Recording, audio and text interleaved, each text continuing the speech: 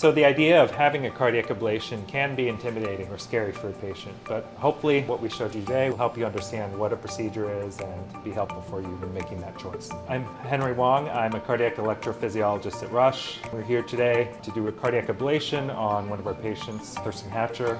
I'm feeling good. Uh, I kind of know the drill. I've had two of these ready to get it over with. So cardiac ablation for AFib can take multiple varieties. We know the part of the heart where most atrial fibrillation triggers come from, and we seek to electrically isolate that part from the rest of the heart. So we use a lot of technology during these cases. We electrically actually form a cartoon of the map. It's sort of an on-the-fly CT scan of the heart, and this helps us know where we are and where we have to do our treatments. Every uh, ablation procedure requires team effort. Jamara and I are at the bedside, anesthesia is here along with our nurses, and we also communicate you know, with our other staff and team members who are in the control room.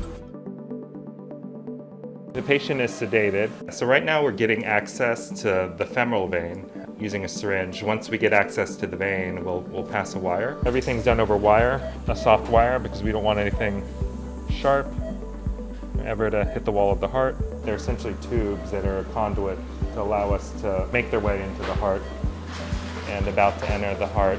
There you have a live image of the heart and he'll look at the left atrium, which is the chamber where we're going to do our work. So Mr. Hatcher had an ablation before. So now we're going to, you know, check electrically to see if the ablation was effective. You know, often for a second ablation, the, the veins are reconnected. There's a small area, you see how it's a straight line on the left side.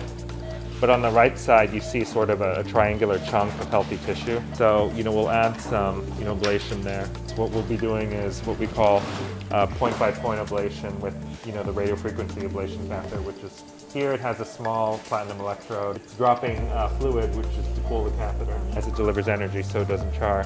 You notice there are some extra heartbeats actually just when we have the catheter in that area. Some interesting signals there.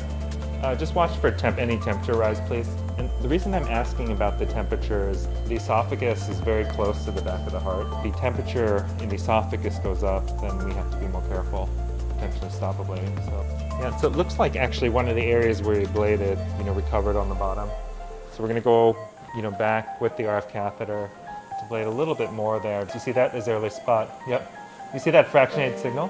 Let's come on ablation here. We got everything right. It's a good sign is this area that you know was electrically active. We're actually stimulating the heart to go faster, uh, but it's actually not able to capture uh, any of the heart muscle to make it go faster, so we know this ablation's been effective. Uh, will just check to make sure that there's not any fluid around the heart, you know, that everything looks good structurally. Everything will come out of the body. We'll reverse the blood thinner. We'll hold pressure here for 10 minutes. After he's done that, you know, we'll wake up uh, Thurston and, you know, get him to the recovery area. Easy as that.